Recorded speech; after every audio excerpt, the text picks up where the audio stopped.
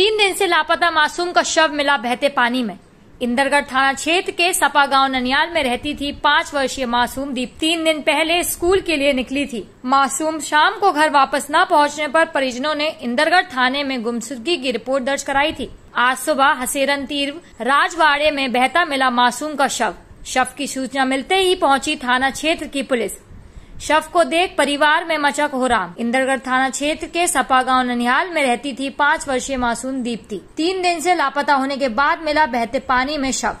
कन्नौज से update media के लिए यश त्रिपाठी की रिपोर्ट। दोस्तों, वीडियो आपको अच्छी लगी हो तो वीडियो को लाइक करें, चैनल को सब्सक्राइब करें, हमारे वीडियो को शेयर करना बिल्कुल भी ना भूलें। मैं आपसे मिलती हूँ अगले वीडियो में।